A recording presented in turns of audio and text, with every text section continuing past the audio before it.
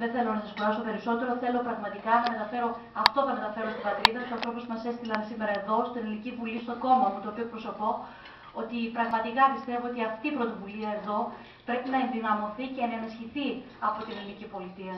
Είναι ένα θαυμάσιο εργαλείο προβολής της χώρας μας σε μια μεγάλη αγορά, όπως σα είπα προηγουμένως, όπως είναι η Αμερικανική αγορά, και θα πρέπει να ενισχυθεί από όλες τις κατευθύνσεις.